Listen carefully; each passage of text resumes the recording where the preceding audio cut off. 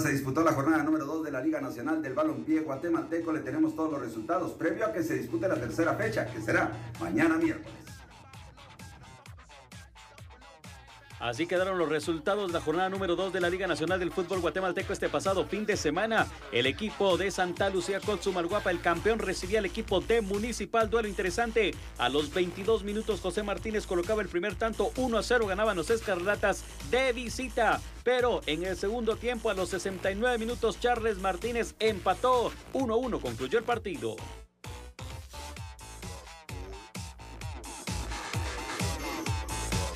Siempre en el fin de semana, el equipo cebollero de Achuapa recibía a los toros de Malacateco. Duelo interesante. 0 a 0 concluyó el partido. Sin embargo, hay que destacar que los dos equipos hicieron todo lo posible por abrir el marcador, pero no se pudo. 0 a 0 el marcador final.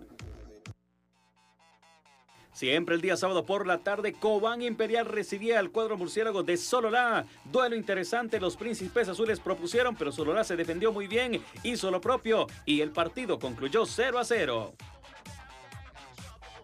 Siempre la jornada del día sábado por la noche, Antigua GFC recibía el cuadro del Xerajumbrio Campo Seco. Los panzas verdes que estrenaban eh, la luz artificial seguirían arriba en el marcador a los 35 minutos por medio de Carlos Mejía para colocar el 1 a 0. Un minuto más adelante, Pedro Báez colocaba el segundo tanto, 2 a 0 y esto olía goleada. Se fueron hacia el descanso. Ya en la segunda mitad, Carlos Mejía apareció nuevamente para colocar el tercer tanto a los 65 minutos. Era el segundo en su cuenta personal personal y tercero para Antigua GFC 3 a 0. Y al minuto 70 Pedro Báez también en su cuenta personal hizo el segundo y cuarto para los Panzas Verdes 4 a 0 derrotaron al equipo Super Chivo. Ya el día domingo el equipo de Guastatoya recibía al equipo de Iztapa en un duelo muy reñido, pasado en mucho calor, pero el equipo Pecho Amarillo derrotó 1 por 0 al equipo de Iztapa por medio de Jorge Vargas a los 45 minutos. Así concluyó el encuentro. Y para cerrar la jornada este domingo por la noche, Comunicaciones recibía el equipo de la Nueva Concepción.